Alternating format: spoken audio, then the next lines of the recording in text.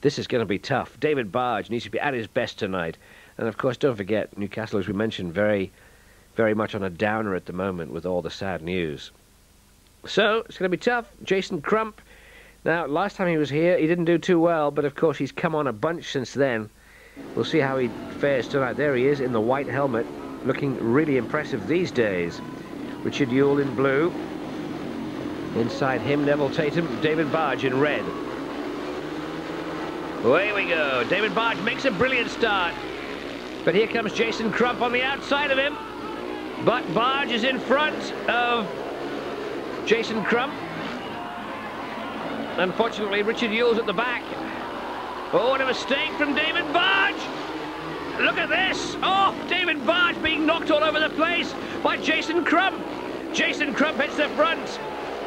Well, not many people get past David Bargh, but Jason Crump did so brilliantly. And a bad mistake. Oh, another mistake from uh, David Bargh. So unlike David Bargh, Richard Juul in sixes and sevens at the back, also back from injury, and he hasn't been the same since, really. He started the season so well. And David Bargh! What's happened to David Bargh? Nearly came off. And look at this!